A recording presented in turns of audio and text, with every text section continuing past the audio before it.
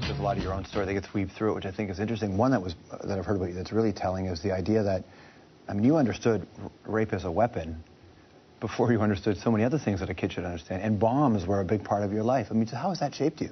I think it shaped me hugely. But you know what's interesting is that I never faced it or thought about it till I was more than an adult, let's say. Uh, till about 10 or 15 years ago, really. I never thought about it because my parents had been traumatized by the war. My mother had been traumatized by the war. She had hid in basements and was terrified because the, Hong Kong was an open city after the Japanese conquered it and um, you know all our goods and, and everything were sold in the street. Everybody's apartments were looted and things, and she and the population was made to stand in the street and look at at the humiliation that they had gone through.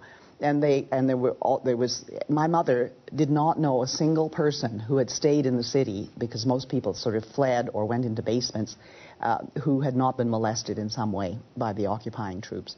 And so we had an incident that happened when we were hiding in a basement waiting for our, my father to find us again after the surrender. And I always wondered about that. I always wondered because the Japanese had broken into the to the basement and were looking for women.